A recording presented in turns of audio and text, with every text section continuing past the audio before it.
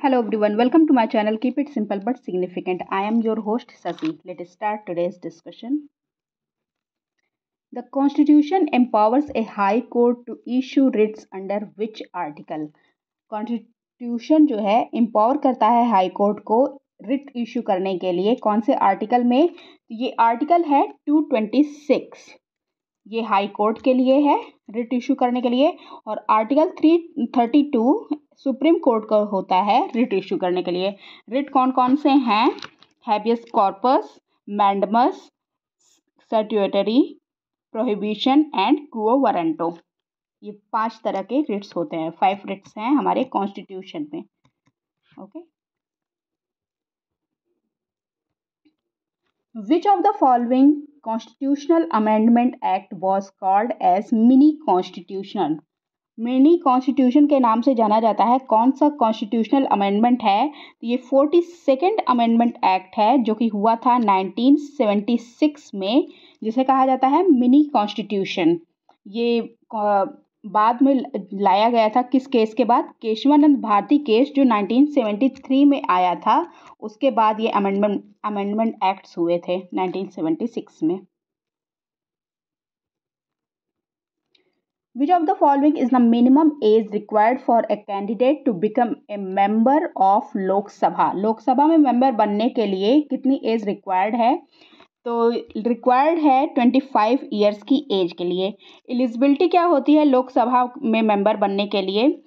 तो ये आर्टिकल जो इंडियन कॉन्स्टिट्यूशन का आर्टिकल एटी फोर है, ये एलिजिबिलिटी की बात करता है लोकसभा में मेंबर बनने के लिए। इसमें बोला है फ़र्स्ट नंबर पे सिटीजन ऑफ़ इंडिया होना चाहिए। इंडिया का सिटीजन होना चाहिए। दूसरे नंबर पे ट्वेंटी फाइव ईयर्स एज होनी चाहिए। थर्ड नंबर पे है कि कोई प्रॉफिस ऑफ़िस ऑफ़ प्रॉफिट से कनेक्टेड नहीं होना चाहिए। ऑफ़िस ऑफ़ प्रॉफिट से कनेक्टेड नहीं होना चाहिए। एंड फोर्थ नंबर पे है, क्या? Candidate should not be unstable mind unstable mind नहीं होना चाहिए। अनस्टेबल माइंड नहीं होना चाहिए। ऑफ़िस ऑफ़ प्रॉफिट से नहीं होना चाहिए। और फिफ्थ नंबर पे क्या है? कोई भी the candidate should not disobey party discipline party discipline को डिसओबे नहीं करना चाहिए। Okay okay? Which among uh, which amendment of the constitution in of india increased the age of retirement of high court judge from 60 to 62 साठ से बासठ साल कर दिया गया रिटायरमेंट एज हाई कोर्ट के जज की कौन सा अमेंडमेंट था तो ये अमेंडमेंट था fifteenth answer is B Who among the following is not a member of any of the two houses of the country? Member नहीं है किसी भी हाउस का मतलब राज्यसभा और लोकसभा दोनों का भी मेंबर नहीं है तो ये है president. Answer is P. President is not a member of any of the two houses of our country. और प्रेसिडेंट एक टाइटल है जो दिया जाता है किसमें? रिपब्लिकन में। रिपब्लिकन स्टेट्स जो होते हैं, वहाँ पे प्रेसिडेंट टाइटल होता है। President of India is ceremonial head of state. Head of state होता है, जो कि सेरेमोनियल होता है। और ये chief commander commander in chief है। Commander in chief commander in chief है? इंडियन आर्म फोर्सेस का। Okay which among the following constitutional amendment act led to insertion of Article 21A in Part 3rd of the Constitution that made free and compulsory education for all children between 6 to 14 years of age a fundamental right. कौन सा amendment act हुआ था constitutional amendment act हुआ था जिसमें twenty one ए article twenty one में twenty one A जोड़ा गया और इसमें बोला गया कि फ्री एंड कंपल्सरी एजुकेशन मिलेगा ऑल चिल्ड्रन को जो छः से चौदह वर्ष की उम्र के होंगे। तो ये अमेंडमेंट एक्ट एक्ट था कौन सा? Eighty six amendment act answer is D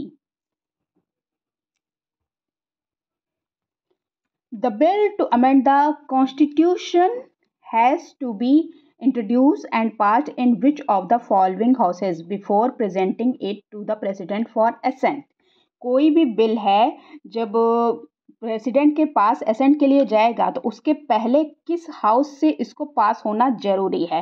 देखिए, दोनों हाउस से इसको पास होना ज़रूरी है introduced and passed in Lok Sabha and Rajya Sabha both answer is a money bill को छोड़कर मनी बिल में राज्यसभा का कोई दायित्व नहीं होता है। बाकी सारे के में लोकसभा और राज्यसभा दोनों का ज़रूरी होता है।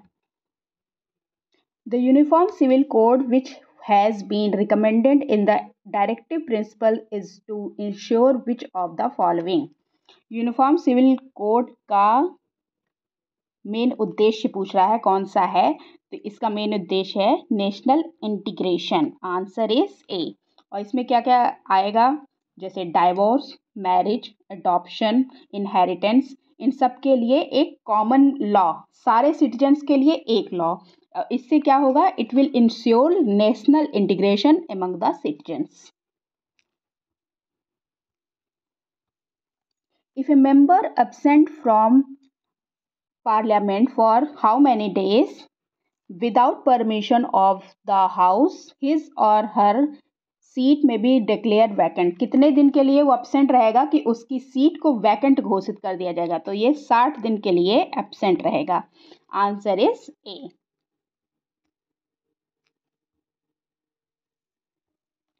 via which of the following amendments the term socialist was inserted in preamble of the Indian Constitution? कौन सा अमेंडमेंट हुआ था जिसमें टर्म सोशलिस्ट को ऐड किया गया था प्रियम्बल में हमारे? तो ये कौन सा अमेंडमेंट था? तो ये फोर्टी सेकेंड अमेंडमेंट एक्ट था, जिसमें तीन वर्ड जोड़े गए थे सोशलिस्ट सेकुलर एंड इंटीग्रिटी ये तीन वर्ड हमारे प्रियम्बल में जोड़े गए थे।